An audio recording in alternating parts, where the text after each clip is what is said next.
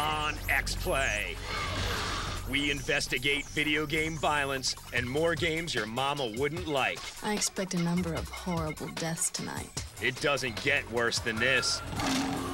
So cover your eyes, campers. It's bleeding time.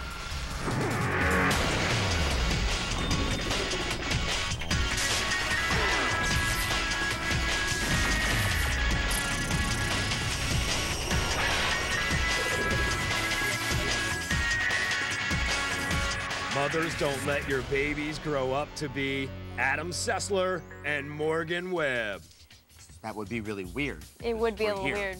Now, hello, concerned parents, and welcome to another blood-drenched edition of games your mama wouldn't like. For years, violent video games have been blamed for short attention spans, crime waves, and giving men unrealistic expectations about breast size. Mm-hmm. Today, we once again sink to rock bottom to bring you more tales of malice and mayhem. From a crack smoking game that has parents groups up in arms to a game where half naked vampire fights goth demons, we'll be looking into the abyss and finding out if the abyss really does look back. You know, if it does look back, does it wonder, hey, why is that guy in the ugly shirt staring at me? If you only watch one show about video games this year, that's me you're talking about, isn't it? Uh-huh. All right, well, you've probably already seen some other show that's on this channel. But if you watch two shows, make the second this episode, and at least you'll leave disgusted. And if you're a parent, I bet no video game disgusted you more than Narc, the brutal Grand Theft Auto clone that glorified drug use. Well, I'm not a parent, but I was actually more disturbed by Disney Magical Princess. It makes all little girls look like bling-obsessed gold diggers. Well, they are. Don't don't hit me. See, see, video games are causing violence. Here's a review of the controversial Narc. All the glisters is not gold, kids. But if you can smoke it, pop it, or shoot it, you better get cracking before the narcs beat you to it. What do you get when you mix equal parts Michael Madsen, Bill Bellamy, with the blood-borne contents of a kid at a Chemical Brothers show? If you answered a crappy game, you're right. Narc attempts to distract you from the idea that there may be a game somewhere with its near constant barrage of let's get the pug stoned humor. I'm telling everyone you're my bitch, okay? Who would stoop to such lows? Hi, kids. I'm Grovler, the crack squirrel. Seems there's a new drug on the block, bringing dead folks back to the thug life. Liquid Soul is flooding the streets, and it's up to our fabulously flawed detectives here to get involved. Oh, that's good. You'll start in the city of lost children as either Marcus or Jack. Bill Bellamy and Michael Madsen supply the voice talent with Ron Perlman as the chief. And apparently, U.S. law enforcement answers to a higher power. Bleaksburg here is chock full of the sadly overlooked members of our great society. Take this bottomed out yet noble daughter of the night, distraught over someone named Richard. No more dick! I hope you're happy, Richard. Oh. Dystopic visions of urban blight is nothing new, but Narc tries to up the ante by making the resident moral authority even worse than the local drug dealers. You have the right to remain stoned. Whether they're sadistically beating a handcuffed perp for info, popping pills, or huffing dope, these guys bear absolutely no resemblance to righteous lawmen. Now that the long arm of the law is tied off, let's hit the town in search of game.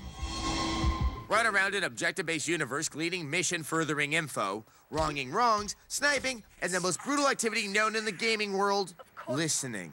We underestimated their tenacity, that's all. After a while, you'll kind of give up on the storyline as you continue to wage yet another stereotypical street battle to earn cred. The game's not all bad, it can sometimes teach valuable life lessons. Trade, Hey, wanna get high? negotiation, never bring a bat to a gunfight. It's on. Side quests at times border on the surreally inane. Clouds and combatants only add a cluttered, trashy feel to gameplay. Auto-targeting is relatively responsive, but like a junkie's gaze, a little unfocused. The game's really banking on the frat house giggle of the drug effect. When our badge-wielding law dudes just can't take it anymore, they get high. You should have laid off the ding-dongs after Reservoir Dogs, bro. Even at 20 bucks, this game is more annoying than entertaining. The long-winded exhalation, we give it a 2 Bye, kids. Remember, don't do drugs. out of 5. It is a damn shame when a crappy game gets tons of free publicity thanks to overactive media hype. At least the forbidden gaming fruit known as Grand Theft Auto 3 was actually rich and succulent. Narc's gameplay, on the other hand, is rotten to the core. That was a very complex metaphor, Adam. Well done. Thank you. Of course, not all conversations can be as full of poetic import as mine. Some deal with the basest of emotions, like lust. And this next clip is just disgusting and delightful. Thank you for calling 1 900 Ninja Love. A ninja will be with you momentarily.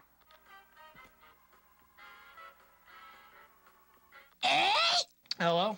Don't waste my time. Let's go. Damn, I like a ninja that can get down to business. Want more? Oh, yeah, baby. You know who I am? I don't care who you are. I'm Link. That's all you've got? You know, from Legend of Zelda. Pitiful.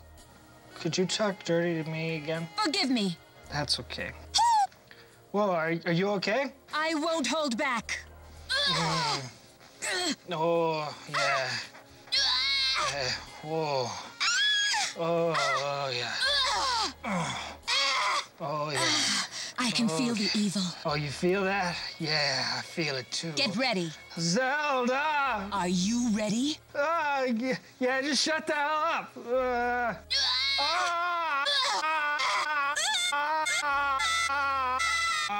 It's time for you to sleep. Yeah.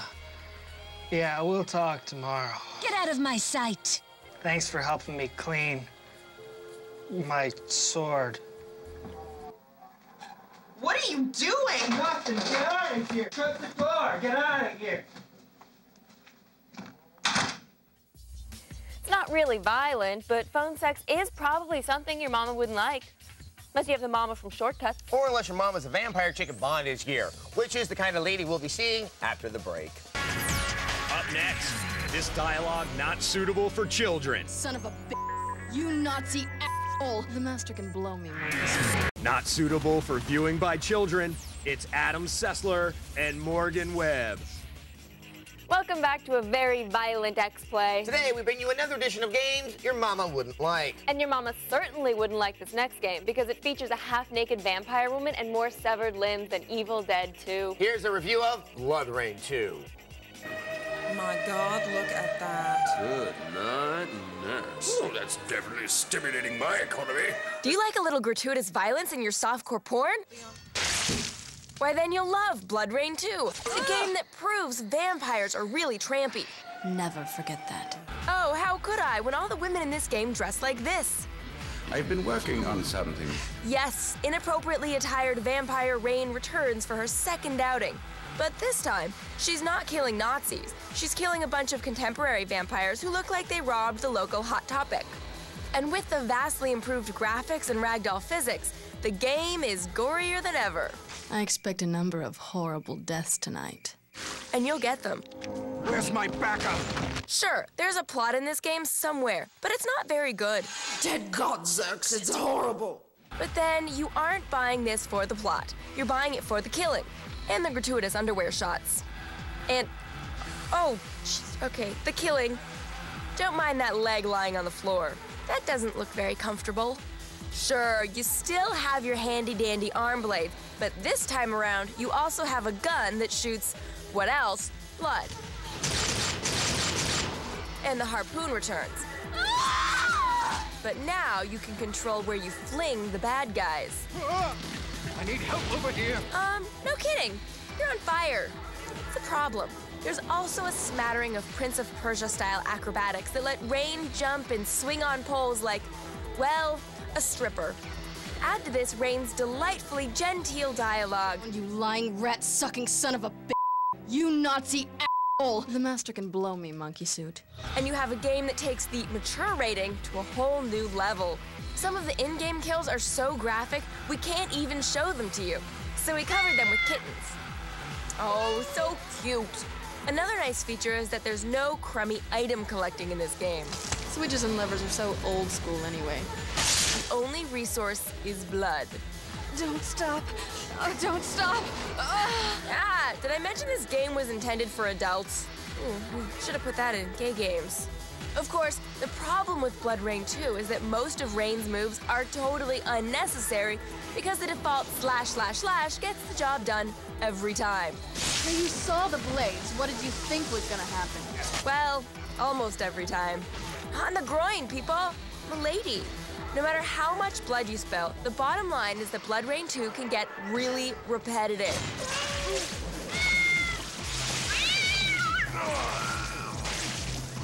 Even if you spill a lot of blood. Well, because for some reason the bad guys are chock full of it. It's like a sprinkler.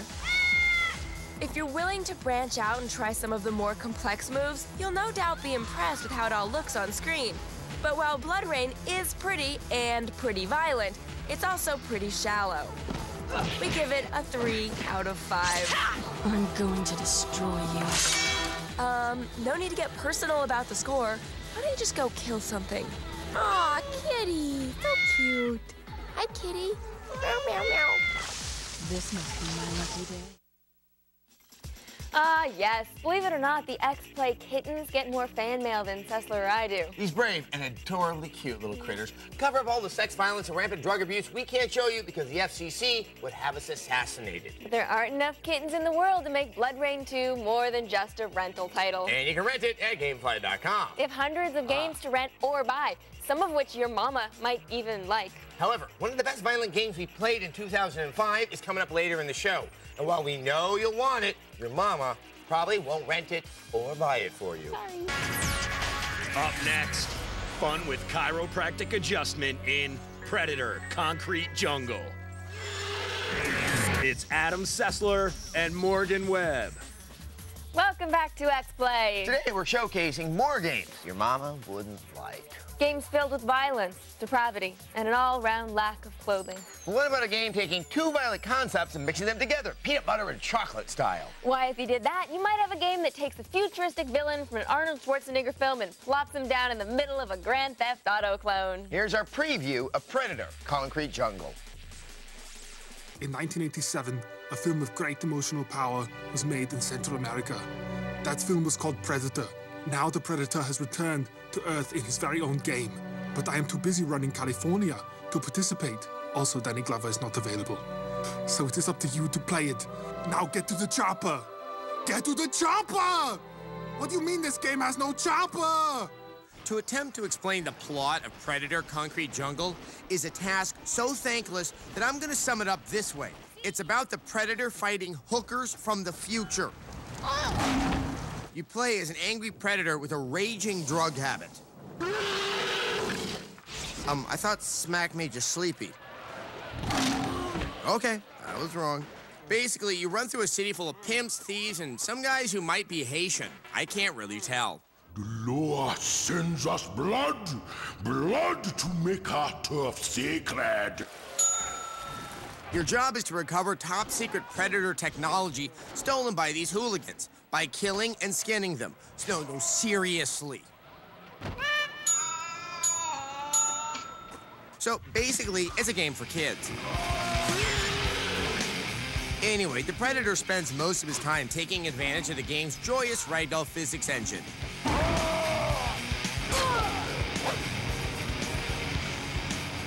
Why don't you hang around? Yes, I've still got it. Along the way, you'll fight evil drug lords who are apparently former members of Cirque du Soleil. And you'll also get hit by tiny cars. And make pimps cry. Oh, no. Okay.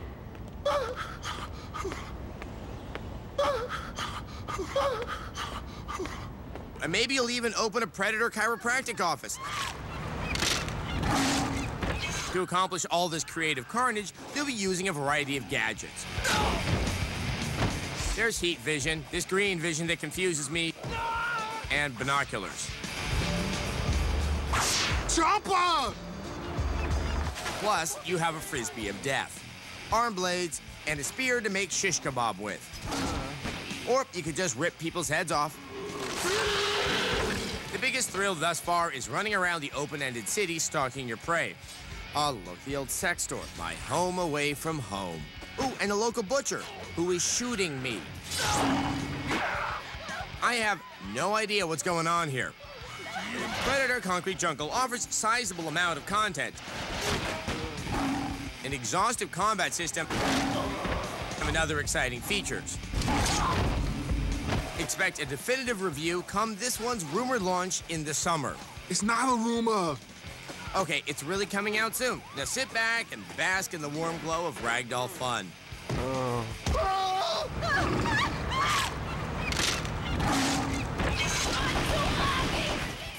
I'll bet good money that your mama still won't like this game when we review it later this year. Oh, come on. It's about an alien fighting hookers from the future. That's clearly a family-themed premise. What kind of family did you grow up in, Sessler? I was raised by wolves. That's why I'm so furry. Doesn't explain why you dress like that. In a moment, graphic violence and a threesome mini game. Your mama really won't like this one. Still not as vulgar as Deadwood. Yet. It's Adam Sessler and Morgan Webb. If you're just joining us and wondering why your TV is splattered with gore, it's because you're watching X Plays more games your mama wouldn't like. All episode long, we've been bringing you gritty urban games filled with gratuitous violence. But now, we're raising the bar by bringing you some classically themed mayhem. Yes, if you liked a little scholarly whoop-ass in your literature, why not play a game that harks back to the days of ancient mythology for its subject matter? This is one of the few games where you can claim, I'm not just ripping that man's head off, I'm learning something. Here's a review of the excellent and excellently violent God of War. After 10 years of suffering, 10 years of endless nightmares, it would finally come to an end. Don't get ahead of yourself. We've only been on for two years. Like a thunderbolt from on high, God of War has struck the PS2. This Herculean hack and slash puts just about every other action game on the system to shame. I will send you back to the depths of Hades! This is Kratos. Even by ancient Greek standards, he is not a nice man. Thank the gods you came back for me. I didn't come back for you. No! He's tired of the killing game and wants to forget his past sins that have haunted him for a decade. So he strikes a deal with the gods of Olympus. They'll help him if he manages to kill Ares, the insane god of war. And if I am able to do this, to kill a god, then the visions, they will end? To do this, Kratos will slice and dice his way through legions of mythological beasties, and you'll love every single minute of it. A visceral, satisfying combat system dominates the gameplay. Every hit feels solid and meaty, and the action is enhanced by the addition of quick minigame-style sequences that let you finish off your foes with cinematic flair. And finish off mm, other things as well. Stay, Kratos. Whoa, severed heads and violent death is one thing, but bare breasts in a video game? Extreme. Watch it, you're gonna knock the... Talk about a blow to archaeology. God of War specializes in crossing lines you don't expect to be crossed in a game. Sure, you can hack at those harpies till they die, or you can grab one and rip its damn wings off. Whack a Gorgon with chain blades is great, but why not wrench its head off instead? Unfortunately, there's no follow-up command to down their necks. The game is full of over-the-top, uber-violent moments like this. Kratos isn't just a gloomy badass. He's a gloomy badass who'll beat you to death with your own arm. Then there are the boss battles. These exquisitely designed action set pieces are some of the most impressive things ever seen on the PlayStation. The downside? There's only three of them, and the third doesn't quite live up to the other two. Occasionally, the action slows down for a puzzle sequence. The brain teasers in God of War aren't particularly difficult, but they're polished and brilliantly designed. They're so good, I didn't even mind that the first one is essentially an escort mission in which you babysit a wooden crate. It's impossible to recommend God of War highly enough. This is one of the most well-made action games in a long time. From the unbelievable graphics to the movie quality soundtrack to the charmingly brutal combat, the only excuse for passing this one up is a weak stomach. It's on the short side, but we dare you to only play it once. The gods of Olympus have abandoned me.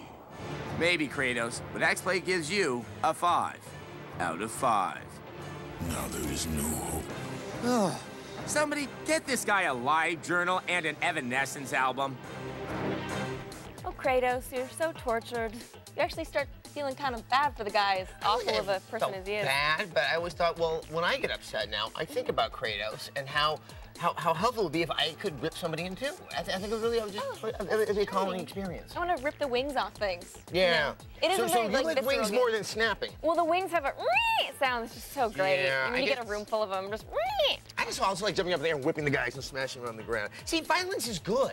yeah, it's really I. I, I think clearly saying that there's, there's something very, very helpful. After a long day at work, go slaughter magical beasts, uh, like the whole blood pinata thing. I just think the, the game just feels so darn good to play. it's very visceral. You feel like you've really Yeah. hit something, which is so great. And the controls work so well, and the boss battles are amazing. You know, Joe Lieberman is out there right now watching us say this. Yeah. And he's getting all upset again. He's gonna call, steam coming so, out of the yeah, ears. yeah. But the boss battles are amazing. The Minotaur, I think, is my favorite. I don't know. People argue about the Hydra, the Minotaur. I think the Hydra was just so exciting when it happened. It- all right, was. maybe you have an opinion. Yeah, you do. Yeah. So yeah. then let us know about it on our website. G4tv.com slash xplay. I think that's it. That so, is so it. go That's there and sound is. off like you haven't been sounding off already. Yes. Okay, now we're going to viewer mail. We are. We wrap things up today with a letter from an actual mom. They exist. They do. It would be so cool if you guys did a kid-friendly games episode. My three and a half year old son loves your show. He gets so excited when it comes on. Plus, it's something we can watch together instead of having to watch cartoons. I like cartoons. I like cartoons too, but I can see maybe getting sick of little kids' cartoons. All right. Well, anyway, you're letting your three and a half year old kid watch a show. That's very impressive. Apparently, somebody's not listening to the cultural troglodytes that are the Parents Television Council. So there you go. Though you may want to. we, we, we've done some naughty stuff today. I we have like naked people, we have swearing, we have bad things happening. Just giving them good things early in life. Anyway, good games for kids. Catch. Uh. Reading. Re- is that a game? Reading's a game now? If you tell them it's a game, they'll read. Okay. Sunshine. Sunshine's a good game. You go outside and you just like that, but you have to wear the sunblock. Yes, well, Obviously. also Pikmin's fun. Little strategy. Good game. Kick the can.